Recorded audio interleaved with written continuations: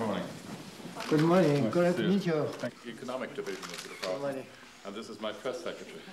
Good morning. Very kind of you. Thank you.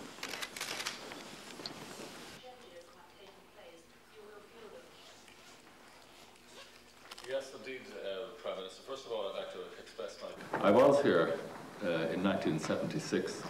I was president of a University College Dublin football team. 总理，首先呢，我要对在七六年的时候来过中国，那时候是作为都柏林大学足球队的主席。那你本人也是足球队员？Then you are a footballer.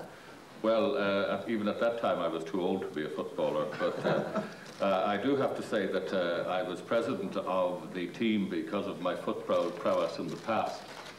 从你的身材，从你这个体质来讲，大概你年轻的时候你是个足球队员。I can judge that you were a footballer when Yeah. you were young. Yes, indeed, yes. 对， When I was here in 1976, uh, we arrived on the 7th, uh, the 6th or 7th of September, and uh, uh, Mao Zedong died on the 9th, uh, as a matter of history.